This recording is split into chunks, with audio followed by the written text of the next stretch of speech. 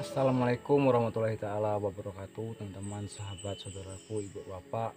Hari ini saya berada di salah satu pondok hutan kebun yang dimiliki oleh pemuda yang masih muda uh, belum beristri. Umurnya itu sekitar 40 tahun. Nama itu adalah Kak Man. Dan dia itu adalah uh, pemilik dari lahan kebun ini ataupun pondok kebun ini tetapi Kak Man ini orangnya pemalu. Dia nggak mau uh, dilihat videonya. Tapi katanya tadi silahkan mau merekam ataupun melihat suasana-suasana yang ada di lahan kebunnya ini. Dan alhamdulillah saya diizinkan dan inilah di mana tempat uh, kediaman pondok hutan kebun yang dimiliki oleh pemuda. Nama itu adalah Man. Kak Man ini umurnya 40 tahun dan ya ini belum menikah. Dan sekarang kerjanya itu mengurus kebunnya ini ataupun merawat lahan kebunnya ini untuk mendapatkan sebuah rezeki ataupun uang yang akan digunakan dalam keperluan kehidupannya sehari-hari. Ini teman-teman adalah uh, tempat ataupun isi dari dalam pondok kebunnya ini. Nah, assalamualaikum. Nah, teman-teman dipenuhi dengan pakaian-pakaian ataupun baju, sepan, celana. Dan ini tempat luarnya.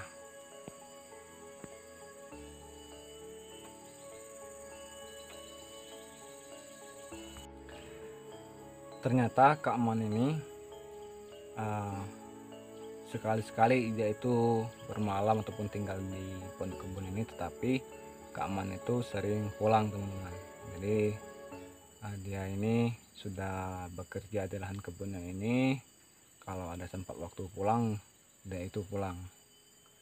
Jadi lahan kebun ini adalah ladang uangnya untuk mencari uang.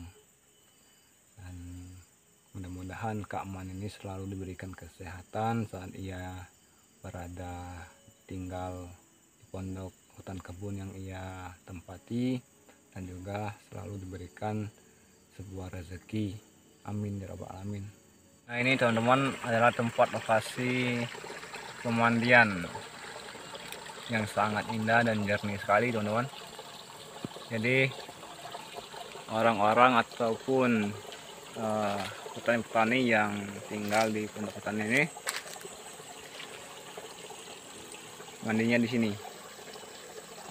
Nah, ini. Menggunakan uh, air yang mengalir dari sungai-sungai kecil di sini dan dibuat seperti penampungan ataupun tempat uh, duduk jika ingin mandi jika ingin mandi teman-teman. Airnya ini sangat jernih sekali ini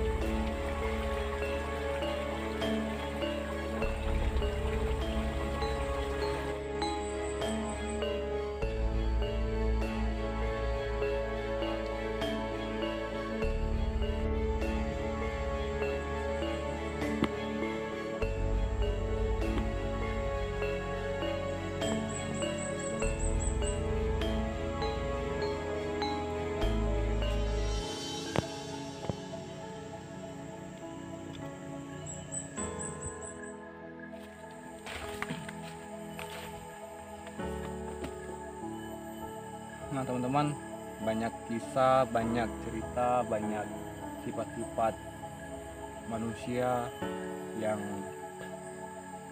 saya temui yang saya jumpai. Ada yang pemalu ada yang ceria dan ada yang sedih. Jadi berbagai jenis sifat orang itu adalah salah satu pengetahuan dan juga pengalaman bagi kita semua yang tetapi tujuan dari semua itu adalah hal-hal yang baik. Yang terutama yaitu bagaimana cara mendapatkan sebuah rezeki saat kita hidup saat kita tinggal di mana pun berada. Dan salah satunya itu adalah Kak Man ini. Kak Man ini adalah seorang pemuda seorang pemuda yang umurnya itu 40 tahun yang masih membujang katanya tadi dia malu teman-teman untuk divideokan. Dan sekali lagi saya ulangi alhamdulillah uh, kata Kak Man tadi kalau ingin videokan pondok dia ataupun suasana bagaimana di lahan kebun dia silakan. Ia sudah mengizinkan tadi.